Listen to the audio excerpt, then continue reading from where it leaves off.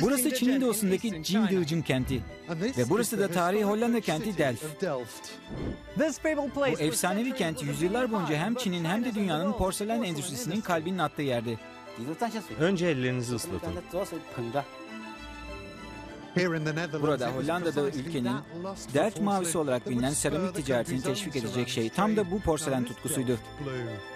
Bu zengin zanaati yaşatan ustalarla tanışıyoruz. Bunu yapmak için kasınız olması lazım. Evet evet görebilirsin.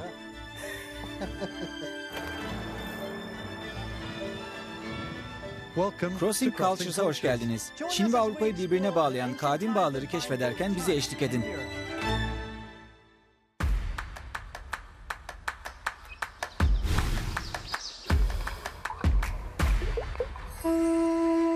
Çin'de Cindezan bahsi geçtiğinde akıllara ilk olarak porselen, özellikle de meşhur mavi beyaz renkli Kinguaji gelir. 72 etaptan oluşan karmaşık bir süreçten geçerek yapılır. Çömlekçi işe çamuru tornanın üzerine yerleştirerek başlar. Kesinlikle merkeze getirilmelidir. Aksi takdirde sallanır. Sonra kabın kenarlarını şekillendirir. Tüm gücünü ve enerjisini ellerine veriyor gibi görünse de bu işlemi oldukça nazik bir şekilde yapıyor. Deneyebilir miyim? Tabii buyur. Önce ellerini ıslat. Sol elini dışarıya, sağ elini içeriye yerleştir. Önce birlikte yavaşça hareket ettir. Sonra ayır. Ve bir kasemiz oldu. Temel şekil verildiğinde işi bir sonraki usta devralır. Dip alma olarak adlandırılan bu etapta çamurun fazlalıkları alınır. Kalınlığın çok hassas bir şekilde ayarlanması gerekir. Milimetrenin onda birini geçmeyecek bir hata payı verilir.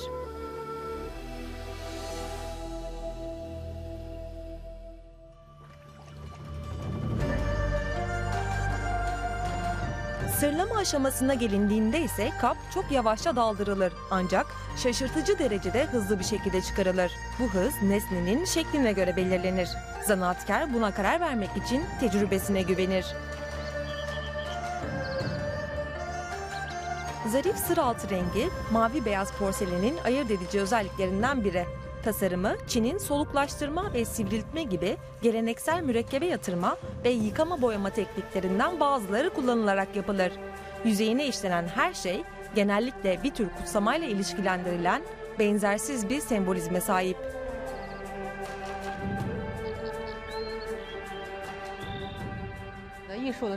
Yaratıcı eserler oluşturmak için dışarı çıkıp keşfetmeli ve hayatın güzelliğini takdir etmelisin. Böyle bir girdi olmadan bir çıktı da olamaz. Bunun yanında sanatsal ifade son derece kişiseldir. Kişinin zevklerinin ve yaşam anlayışının bir tezahürüdür. Burada geleneksel olarak üretilen mavi beyaz porselen bir fincanımız var. Paul, peki sende durum ne? Bir Hollanda kenti olan Delft, yaklaşık 400 yıldır çamurla muhteşem işler yapıyor. Buraya Çin'den gelen porselenlerden esinlenen çömlekçiler, kısa süre içinde kendi mavi beyaz seramiklerini yapmaya başladı. Royal Delft, bugün kentte kalan tek fabrika. Hype Pole, üretim sürecinin ilk ve en önemli basamaklarından biri olan döküm işlemini gösteriyor. Bugün ne yapıyoruz Hype? Proud Mary'nin eteğini yapacağız. Peki, ben de deneyebilir miyim? Tabii. Bu çamur. Bu tüpten geliyor. Tamam. Bunu böyle tutuyorsun. Peki, Akıyor gördün mü? bana şans dile. İyi şanslar. Yavaş, yavaş. Evet, evet oraya. Fazla hızlı olursa ne olur? İçeride hava kalabilir. Bunu istemeyiz değil Hayır, mi? kesinlikle istemeyiz. Usta gibisin. Acemi şansı. Tamam dur. Durdum. Evet, damlamasına izin ver. Sonra bunu kapatıyoruz. Tamam. Kalıp doldurulduktan sonra üstü kapatılır. Daha sonra etek 15 dakika bekletilir. Sonrasında kalan sıvı çamur geride bir tabaka bırakarak dışarı akıtılır. Şimdi ters çevir. Tamamen mi? Tamamen. Yavaş. Emin misin? Evet eminim. Doğru yapıyor muyum? Dışarı çıkıyor gördün mü? Hala sıvı kalan kısım dışarı akıyor. Tamam. Kabuğu içeride kalacak. İyi bir delft çömlekçisi nasıl olur Hype? Eğer çok sıkı tutarsanız kırılır. Bu yüzden hassas ve teknik olmanız gerekiyor. Etek boşaltıldıktan ve yukarı kaldırıldıktan sonra bir saat bekletilir. Bir saatin sonunda çıkarılmaya hazır hale gelir. Evet, yavaş. Vay canına şuna bak. İşte böyle çıkıyor gördün mü? Arkası da aynı şekilde. İşte oldu. Oldu. Tamam. Şimdi buradaki tabağa koymamız gerekiyor. Bu hassas kısmı. Çok sıkı tutarsan kırarsın. İki elinle kavra. Evet. Bu kadar. İyi oldu. Güzel. Şimdi bunun gibi olana kadar kurumaya bırakacağız. Şimdiden uzman gibi görünüyorsun. Teşekkürler. Sana da teşekkürler. Çömlek kuruduğunda süngerlenir. Bu çok önemli adım düzensizlikleri kaldırır ve nihai şekli verir. Nesne daha sonra kobalt içeren özel bir boyayla süslenir. Bu ustalaşması yaklaşık 10 yıl kadar süren ve çok fazla beceri gerektiren bir iş. Çömlek daha sonra sırlanır ve fırınlanır. Büyülü kısmı burası. Kimyasal bir reaksiyon siyah boyayı ikonik mavi renge dönüştürür. Bugün hakiki bir dert küçük bir servet değerinde olabilir. Neyse ki Ko, Paul'ün yanında ve ona gerçeğiyle sahtesinin nasıl ayırt edilebileceğini anlatacak. Ko, Pradmer'in eteği burada. Hollandalı çömlekçiler neden Çin porselenini kopyalamaya başladı? Çin porselenini 16. yüzyılın sonlarında ithal etmeye başladık ve Doğu Hindistan ticaret şirketi kurulduğunda bu ithalat önemli ölçüde arttı. Bu yerli çömlekçiler için rekabetin artması anlamına geliyordu.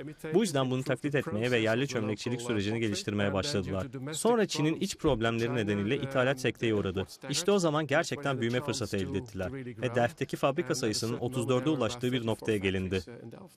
Peki neden bu kadar popülerdi? Çok narindi. Avrupa'da porselen yapamıyorduk. Çamuru farklı bir şekilde karıştırdılar. İnceltmeyi başardılar. Elde ettikleri şey Çin porselenine çok benziyordu. İnsanlar bunu Delft ya da Hollanda porseleni olarak adlandırdı. Aslında bu toprak çömlek. Dekorasyonu oldukça rafineydi ve mavi renk yeni bir şeydi. Peki gerçeğiyle sahtesini nasıl ayırt ediyorsunuz? En kolay yolu. Yanına başka bir etek koyup karşılaştırdığınızda detayların tümünün biraz farklı olduğunu görürsünüz.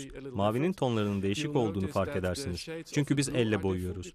Eğer daha fazla su kullanırsanız da açık mavi olur. Az su kullanırsanız daha koyu bir mavi olur. Ve tabii altına bakarak da anlayabilirsiniz. Eserin altında Delft ismini, sanatçının adının baş harflerini ve bir tarih kodu bulacaksınız. Ve bu sınırlı sayıda üretildi. Seri numarası 60. Bundan toplamda 150 tane üreteceğiz. Her bir parça benzersiz değil mi? Her biri farklı, eşsiz. Peki biri bu ticari markayı kullanırsa ne olur? Yasal yollara başvururuz. Tutabilir miyim? Tabii ki, sakın düşürme. Tamam düşürmem. Bu kesinlikle muazzam. Gerçekten çok güzel. Teşekkürler. Ben teşekkür ederim.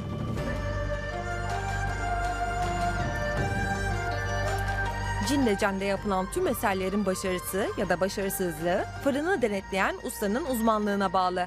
Yılların kazandırdığı tecrübe odunu doğru zamanda ve doğru miktarlarda atmaları için onlara rehberlik ediyor. Bunu günler boyunca aralıksız gece gündüz yapıyorlar. Fırının içerisindeki sıcaklık eşit şekilde dağıtılmadığı için farklı türdeki çömlekler ihtiyaç duydukları ısı miktarına bağlı olarak içeride farklı yerlere konuyor. Örneğin mavi beyaz porselen fırın kapısının en yakınındaki en sıcak yere ihtiyaç duyuyor.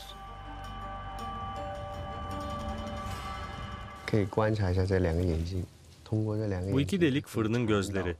Nasıl renk değiştirdiklerini gözlemleyerek sıcaklığını söyleyebilirsiniz. Fırında en iyi, en parlak etkiyi elde etmek için çam odunu yakılır. Bunun nedeni çamın 1300 derecelik bir sıcaklıkta yağ yayması. Çam yağı kabın üstündeki sırla temas ettiğinde zengin, parlak, cilalanmış görünümlü bir yüzey oluşturur.